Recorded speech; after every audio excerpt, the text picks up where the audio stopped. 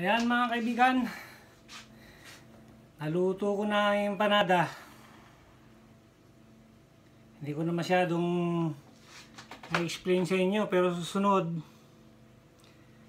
ay atin pong ipapakita sa inyo na step by step para matuto kayo.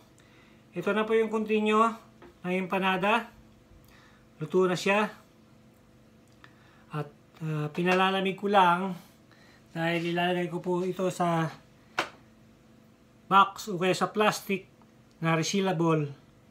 Dahil dadaling ko po sa school ng aking anak dahil nando doon po yung mamaya magkikita kami nung ano nag-order. Kaya pinalalamig siya ng konti yung isang supot na harina kanina na plain flour ito po ang ano meron po siyang 36 pieces na empanada. Yan po siya oh. pwede na siyang kainin dahil luto na siya. Yan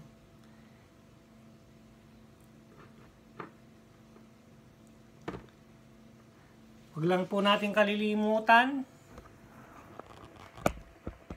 na mag-subscribe sa ating channel. Na ang title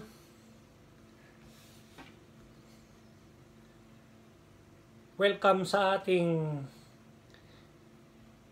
channel Panlasang Pinoy by Chef Edgar.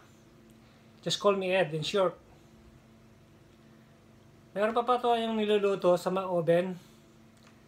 Dahil hindi pa siya tapos. Maraming salamat. Hanggang sa muling video natin. Thank you for today. And thank you for watching.